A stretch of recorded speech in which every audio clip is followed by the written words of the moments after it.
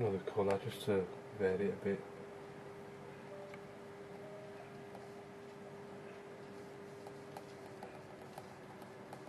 I'll do. I generally do it with the.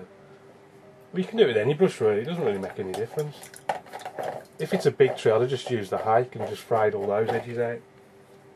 Um, just want to put another, say, little bush or something,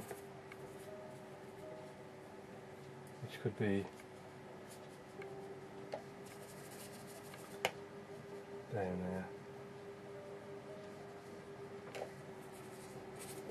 And then just really darken up that side of the uh, of the river.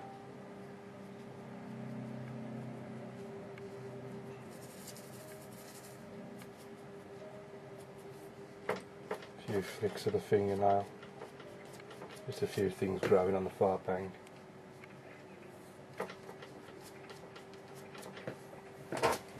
Just makes it a little bit more interesting.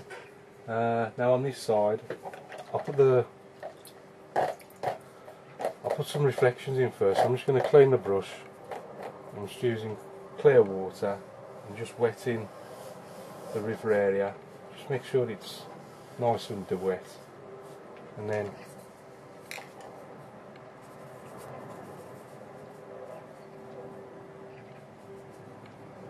Uh, let's say that that far tree there, just about to see reflection in the water, and then you can see the reflection of a few of these little bushes. So just pull them, pull them down slightly, and then you've got that, you got that big, that little tree as well to reflect. So I might just. Just see them there as well. That's all. You only need a few little sort of pieces. It just help bring the water to life. That's, I think that needs to be a little bit darker actually.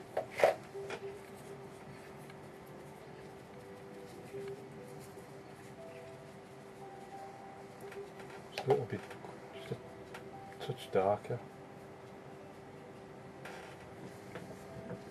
Oh, okay.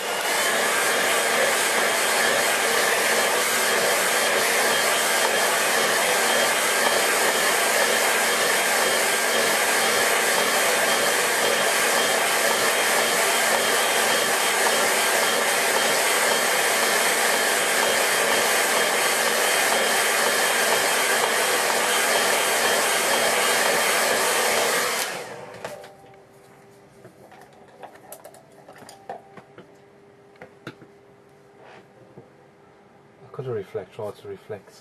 In fact, I'll show you, if you do forget to do things, I'll just show you.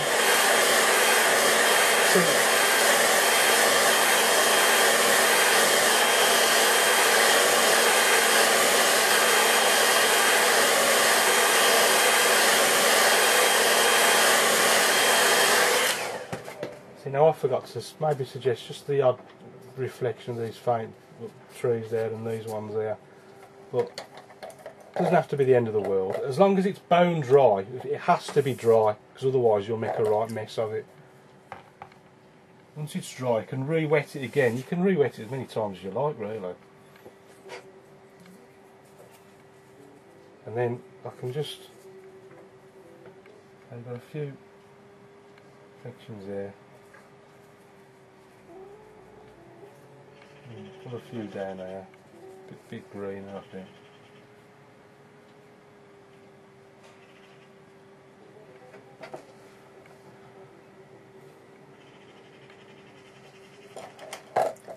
Maybe stick in a few blue bits from the sky. A little bit of the sky here and there.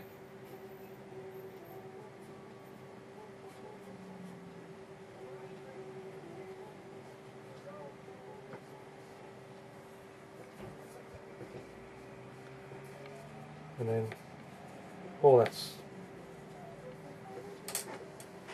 still slightly damp get a darkish mix and then just make this just darken up this part of the riverbed.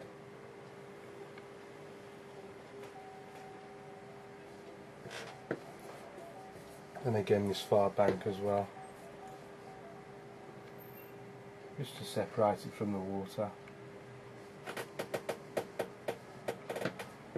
But always keeping the the lines parallel to the bottom of the paper, it because otherwise it'll look as if it's it's sloping one way or the other, and it's it's not the desired effect.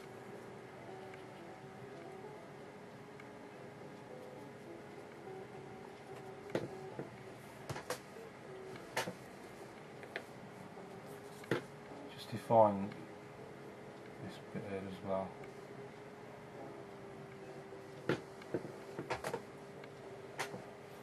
And we can have a few, just flick a few reeds and stuff growing on this side of the river. Make that a bit darker. I'm trying to get it greener, so I'm going to clean the brush. It's getting a bit muddy then. Lemon yellow, Payne's grey.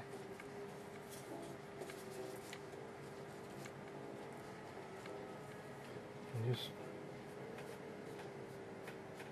just flick up. And then a few.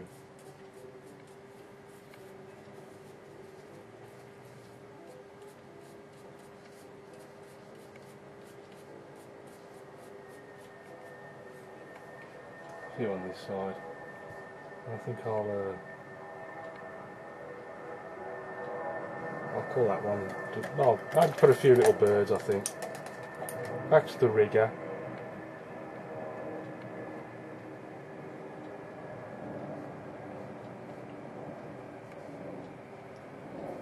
very light colour. I've just got into a very watery greeny mix there. And then just generally looks better when they're going over trees or something like that. A few little birds flying around.